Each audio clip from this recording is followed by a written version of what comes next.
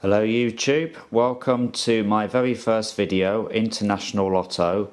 I'm a British expat living here in Spain, in Benidorm, and this channel will mainly be uh, around scratch card videos of Spanish scratch cards and the occasional uh, scratch card from the National Lottery in the United Kingdom, uh, as and when I get my hands on them.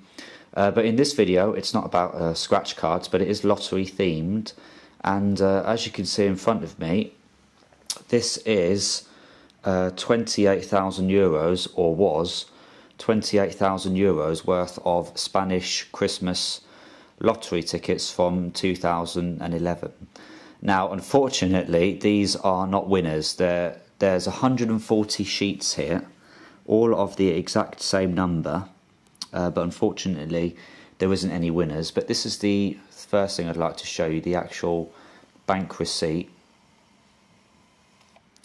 That is 28,000 euros. That's the receipt for the um,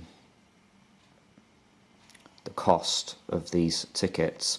Now each of these tickets are uh, officially stamped as well with the official stuff on them that Spanish uh, lottery tickets are. This was for the El Gordo National Lottery that is uh, held once a year in Spain. Very expensive tickets uh, just for one of these little sheets, and I mean, you know, each of these can be divided into one, two, three, five, ten different tickets. Each one costs 20 euros, so um, 20 euros for one ticket. So it's a lot of money. Um, but I thought I'd show you the um, the tickets. I think they're very nice.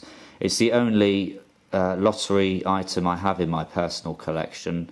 Uh, all the rest of my money is sort of spent on scratch cards, which you will see in this video of the Once, uh, as they call it here, the company, um, Rascas, which is Spanish for scratch. So um, never know, maybe I will be a millionaire or at least win a few thousand. We'll wait and see. Um, excited to um, be aboard and be a part of the scratch card community here on YouTube. Um, and uh, I'll look forward to making new videos soon.